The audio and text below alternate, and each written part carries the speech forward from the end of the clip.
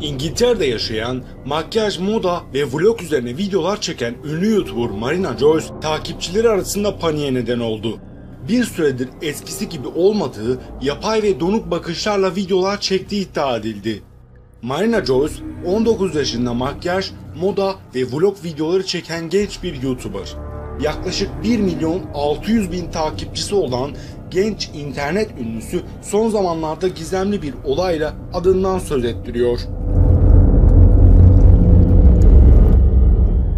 Mariana'nın son zamanlarda çektiği videolarda sahte gülüşleri ve donuk bakışları hayranları arasında dikkat çekti. Takipçileri bu tavırlarını uyuşturucu kullanmasına bağladılar. Fakat Mariana'nın bu tuhaf videoları çekmeye devam etmesi ve vücudunda olan darp izleri fark edilince hayranlarının şüphelerini başka bir yöne doğru kaydı.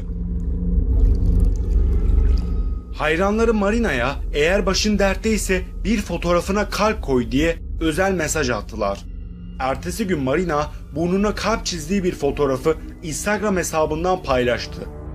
Hayranları Marina'nın başının dertte olduğundan emin olunca ters giden bir şeyler varsa Instagram biyografi kısmına kedi emojisi koy dediler. Birkaç saat sonra biyografi kısmında kedi emojisi görünce hayranları ayağa kalktı.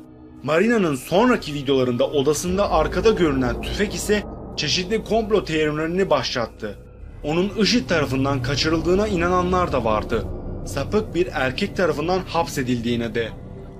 Marina'nın daha sonra yaptığı canlı yayında öksürürken bana yardım edin dediği iddia edildi.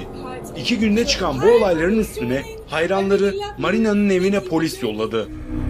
Polis Marina'nın evine yaptığı kontrolden sonra herhangi bir sorun yok.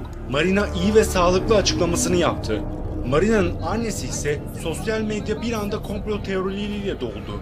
Marina sağlıklı ve iyi. Polis evimize baskına geldi. O gördüğünüz tüfek ise oyuncak dedi.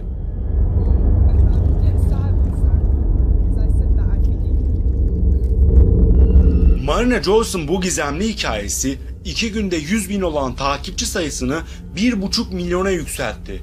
Instagram hesabında ise takipçi sayısı 500 bine ulaştı ve haber sitelerinde gündem oldu. Bir kesim hala Marina'nın başının belada olduğunu fakat söyleyemediğini düşünmeye devam ediyor. Kimileri ise Marina Joyce'un kaçırılma hikayesiyle dünyaya adından bahsettiği bir şöhret haline